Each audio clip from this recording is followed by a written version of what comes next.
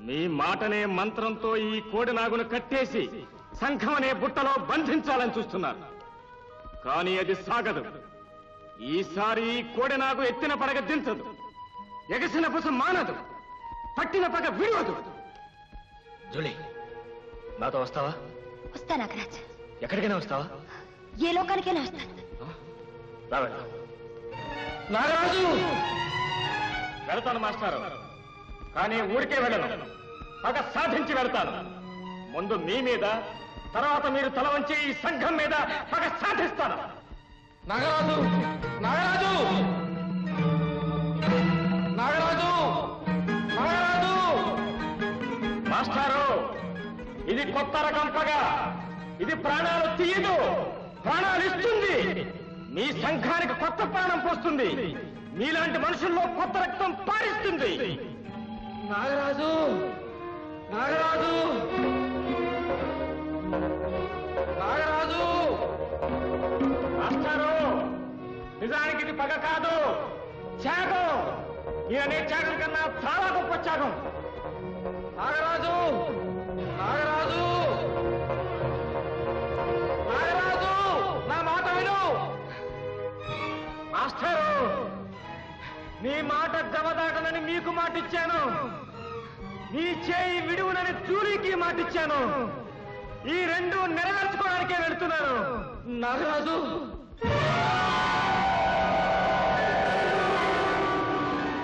శోభన్ బాబు గారు అరవై నుంచి అరవై ఒకటిలోకి అడుగుపెట్టిన మీరు ఇంకా ఎంగగానే కనిపిస్తున్నారు.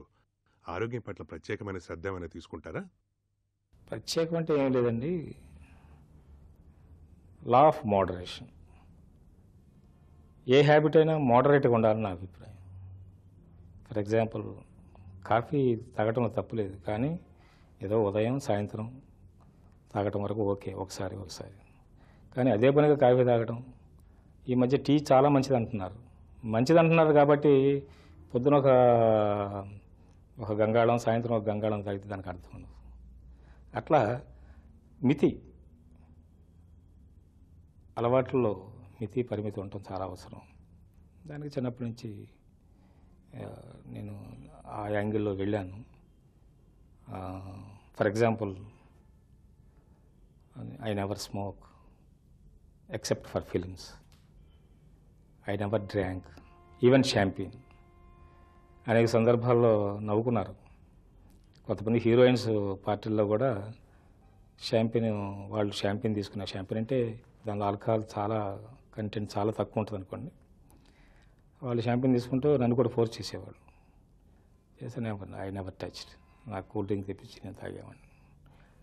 వాళ్ళు నవ్వుకుంటూ ఉండేవాళ్ళు. ఏమంటే మేము షాంపిన్ తీసుకుంటున్నాం మీరు షాంపిన్ తీసుకోవడానికి కూడా బాధపడతాను ఇంకా బ్రాండీ అవన్నీ హాట్ లిక్కర్స్ ఏం తీసుకుంటారని. That is my way of లైఫ్ని తప్పించుకునేవాడు అనుకోండి. మరి దాదాపు ఫార్టీ ఫార్టీ ఫైవ్ ఇయర్స్గా ఎర్లీ మార్నింగ్ ఒక కప్పు కాఫీ తాగటం నాకు అలవాటు. అది కూడా ఇప్పుడు మానేశాను. ఫోర్ ఫైవ్ ఇయర్స్ నుంచి.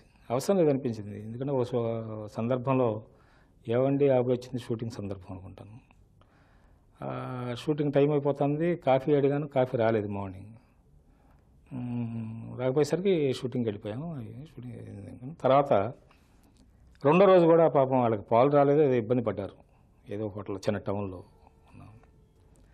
సో మళ్ళీ కాఫీ అడిగాను. రాలేదు. షూటింగ్కి వెళ్ళిపోయాను. రెండు రోజులు ఎట్లాగో అవాయిడ్ చేయగలిగాను కదా. Why not and why can't I avoid for life అనుకున్నాను. సో అప్పటి నుంచి ఇప్పటికి మళ్ళీ కాఫీ టచ్ చేయదు ఆ మధ్య ఒక తమాషా ఇన్సిడెంట్ జరిగింది. ఫ్లైట్లో వెళ్తున్నాను. నా చుట్టూ అందరూ కాఫీ తాగుతున్నారు ఫ్లైట్లో ఎర్లీ మార్నింగ్ ఫ్లైట్ హైదరాబాద్ అనుకుంటాను సో కాఫీ స్మెల్ అద్భుతంగా ఉంది. కొంచెం మనసు లాగింది. మనసు లాగింది. ఇంతలో ఫ్లైట్ అసిస్టెంట్ ఆమె why don't take coffee sir at least coffee అంది. సో టిఫిన్ ఎట్లాగో వద్దన్నాను కాబట్టి అట్లీస్ట్ కాఫీ నా మీద ఇంప్రెస్ చేసి ప్రెస్ చేసి ఆమె అక్కడ పెట్టేది. So for a moment I was little weak. తాగుదాం వై నాట్ అని అనుకున్నాను. బట్ నువ్వు మూడేళ్ళ నుంచి తాగట్లేదు కదా why should I get back అని అనుకుని చివరికి ఆ ప్రలోభాన్ని ఆపుకోలేక ఏం చేశానంటే ఆ కాఫీ తీసుకుని అని గట్టిగా ఆ కాఫీ స్మెల్ పీల్చి దాంతో తృప్తిపడ్డాను. And this is perfect. అట్లా ఏ హ్యాబిట్ అయినా లిమిటెడ్గా ఉంటే ఇబ్బంది లేదండి. అన్లిమిటెడ్గా ఎప్పుడు ఉండకూడదు.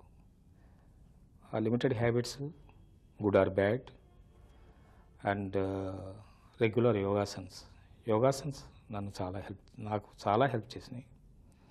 ఈ టైప్ ఆఫ్ ప్రశాంతతకి కూడా యోగాసనం నాకు దోహదం చేసింది. దాదాపు థర్టీ ఫైవ్ ఇయర్స్గా నేను వేస్తున్నాను ఎప్పుడైనా అకేషనల్గా జ్వరం వచ్చినప్పుడు తప్ప ఎప్పుడూ నేను నేను యోగాసనాలు వేయకుండా ఉండను.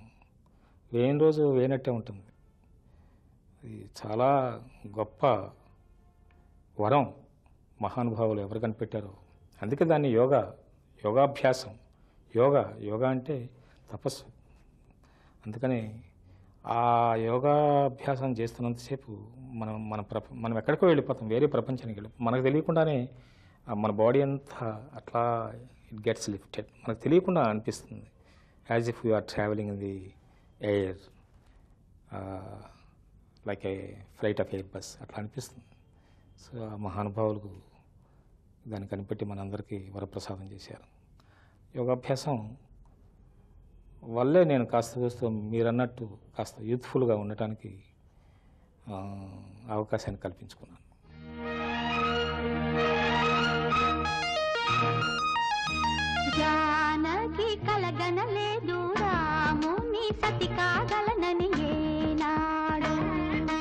రాముడు అనుకోలేదు జానకి పతి కాగలనని ఆనాడు.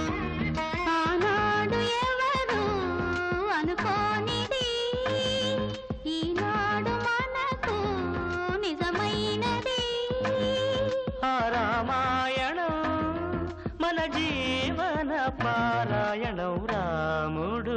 అనుకోలేదు. జానకి పతి కాగలనని ఆనాడు.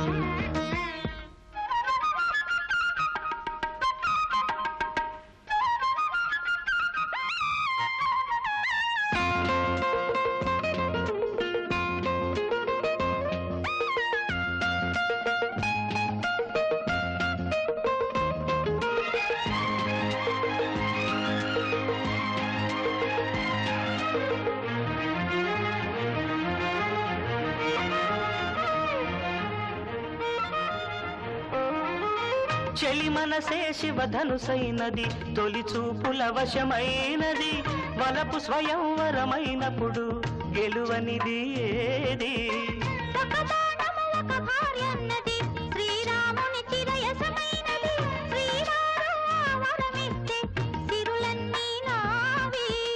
తొలి చుక్కవు నీవే చుక్కానివి నీవే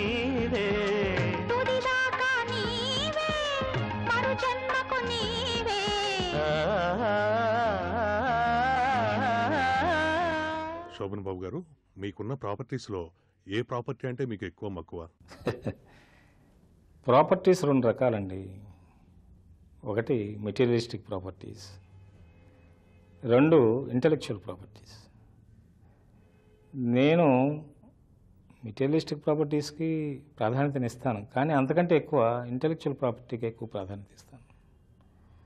అలాగే ఎదుటి మనిషి అతనికి వెనక ఏముంది ఎంత ఉంది ఏ కారులో వచ్చాడు ఆయనకి కార్లు ఉన్నాయా విమానాలు ఉన్నాయా బంగళాలు ఉన్నాయా ప్యాలెస్లు ఉన్నాయా ఇవి ఎప్పుడు నేను ఆలోచించను. అతని మానసిక శక్తి స్థోమత స్థితి అది నేను ఎప్పుడు క్యాలిక్యులేట్ చేసుకుంటాను వాళ్ళతోనే స్నేహం కల్టివేట్ చేస్తాను అందువల్ల నా స్నేహితుల్లో ఎక్కువ మంది పేదవాళ్ళే ఉన్నారు.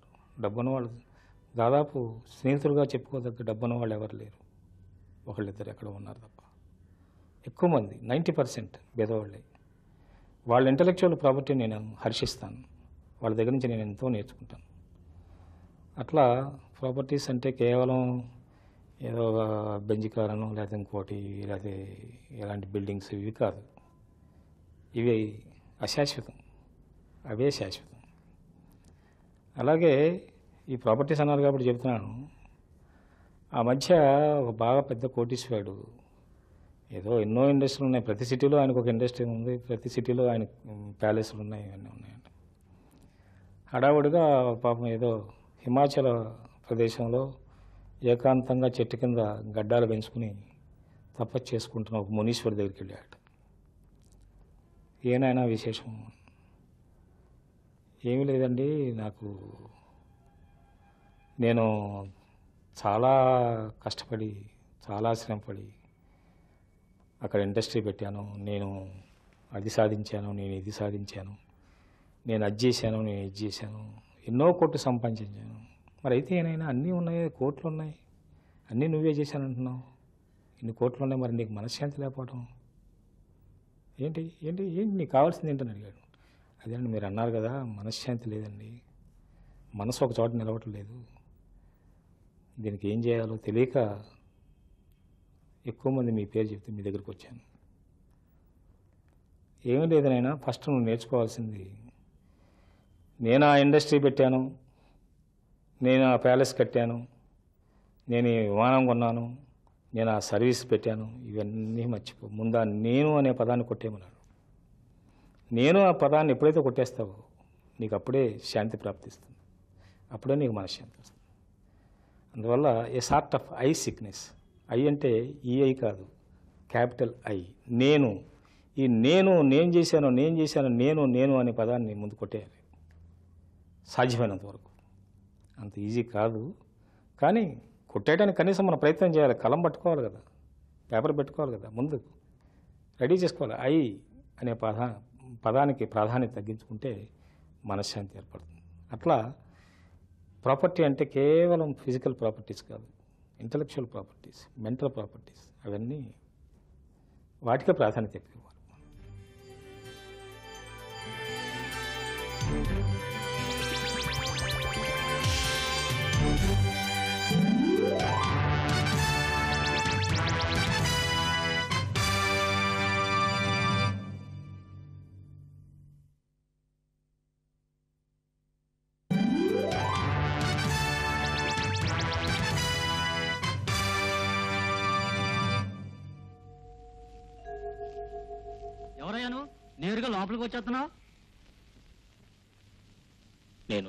అన్నయ్యని అలాగా బాబు కూర్చోండి. అయ్యగారిని పిలుచుకొస్తాను.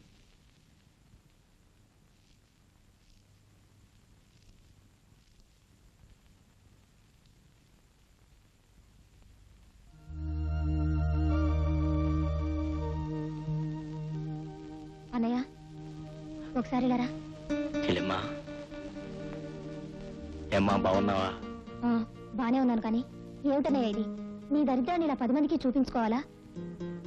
అడుక్కునే వాళ్ళ ఈ బట్టలేమిటి? ఏ బట్టలు వేసుకున్నా నీకు అన్నాలని కనిపిస్తాను అనుకున్నాను కానీ ఈ బట్టలు వేసుకుంటే అడుక్కునే వాళ్ళకి కనిపిస్తాను అనుకోలేదమ్మా. సరే సరే. విషయం ఏమిటో చెప్పు. ఎందుకు వచ్చావు ఏం లేదమ్మా. ఈ పక్కన ఏదో పనుండి ఎలాగో వచ్చాను కదా అని నిన్ను కూడా చూసి వెళ్దాం అన్నట్టు వచ్చాను. అవునులే. చూపులు కాకపోతే ఇంకేం తేగలవు నువ్వు?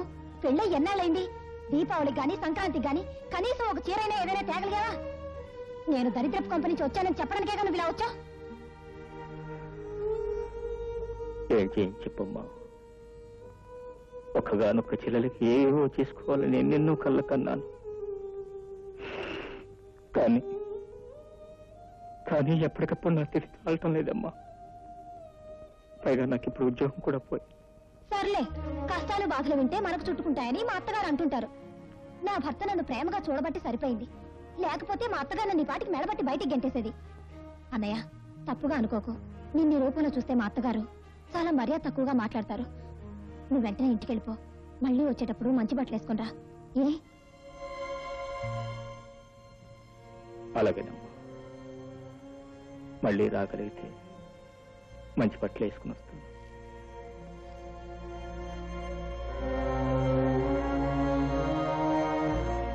అలాగే మీరు ప్రాపర్టీ అంటే నాకు నా మిత్రుడు జ్ఞాపకం వస్తున్నాడు. ఆయన ఎప్పుడు అంటూ ఉండేవాడు. సుపుత్రుడు అయితే సంపాదన ఎందుకు సుపుత్రుడు కాకపోతే మాత్రం సంపాదన ఎందుకు అని. నాకు ముందు అర్థమయ్యేది కాదు. ఏమిటి మాగారు ఏంటి విశేషం? ఏంటి? దాని అర్థం ఏంటి సార్? విపులీకరించండి ఏమని ఏమీ లేదు. సుపుత్రుడు సపోజ్ నీ కొడుకు సుపుత్రుడు నీ సంపాదన అక్కర్లా. అతని కాళ్ళ మీద అతను నిలబడి స్వయం సమృద్ధి చేసుకుని జీవితంలో పైకి వచ్చి మిమ్మల్ని కూడా నిలబెడతాడు. సపోజ్ మీ అబ్బాయి సుపుత్రుడు కాదు. ఈవినింగ్ సెషన్లోనూ డైనింగ్ సెషన్లోనూ వైనింగ్ సెషన్లోనూ ఇంకొక సెషన్లోనూ నాలుగు రాంగ్ సిగ్నేచర్స్ పారేస్తాడు నాలుగు కాగితాల మీద. ఇన్నేళ్ళు నువ్వు కష్టపడి సంపాదించిన సొమ్ము అంతా ఆస్తి అంతా పటాపంచలైపోతుంది అందువల్ల ప్రాపర్టీస్ ప్రాపర్టీస్ ప్రాపర్టీస్ అని ఎక్కువ మంది ముఖ్యంగా మీ సినిమా వాళ్ళలో తాపత్రయపడుతూ ఉంటారు. నేను చూస్తుంటాను నాకు నవ్వు వస్తూ ఉంటుంది. అంటే ఫర్ ఎగ్జాంపుల్ పాపం ఆయనకి ఎక్కువ ప్రాపర్టీ కూడా ఏం లేదు. ఆ, కద్దరు పంచానో కద్దరు లాల్చి ఉండేది దాన్ని ఉతుకుని వేసుకుంటూ ఉండేవాడు. అదే ఆయన ప్రాపర్టీ. బట్ ఇంటలెక్చువల్లీ ఆయన మా అందరికంటే కూడా ఆస్తిపరుడు. అందుకే ఆయన ఎక్కువ గౌరవించి ఎప్పుడు మేము సన్నిహితంగా ఉండేవాళ్ళం సన్నిహితులుగా ఉంచుకునేవాడిని. సో ఆయన ఎప్పుడు ఆ మాట అంటూ ఉండేవాడు. మీరు ఎక్కువ తాపత్రయపడతారు మీ సినిమా వాళ్ళు. కానీ మీ బిడ్డలను సుపుత్రులను చేసుకోండి. అంతేగాని ఊరికి ప్రాపర్టీలు పెంచుకుని బిడ్డలను బడుద్దానం చేయకండి. దానివల్ల there is no use. Conduct your children well. So that they can conduct themselves well. And they will be better off and they will look after you when you're not so.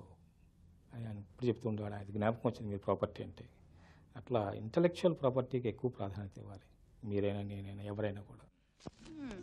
ఏంటో నీ యొక్క దర్జా కూర్చొని cinema పత్రిక చదువుతూ అక్కడ పెద్ద ఆయన coffee తయారు చేసి తీసుకుంటావా? పెద్ద ఆయన గనక కాఫీ చేయమన్నాను. చిన్న అయితే వంట చేయమంటావా? అవును?